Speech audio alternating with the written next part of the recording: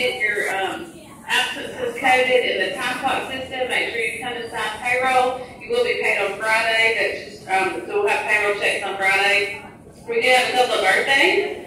Happy birthday to Anna Reyes, Annie Brooks Sadler, and Noah Reed. Also, we missed Coach Aldridge's birthday, which is a crazy shame. Her birthday was the 22nd, so happy birthday to Coach Aldridge. Teachers, also, you have a green form in your box. This is your technology form. Please get that turned in. We're trying to get a couple things turned in before Friday so that you can get um, some of those things checked off, and that process will be a little bit easier. We do have the retirement reception today at 1.30. We have lunch tomorrow at 12 o'clock at the middle school, and the breakfast on Friday morning at 8 o'clock. So please see those announcements and that type of thing and um, pay attention today so that you will be where you need to be.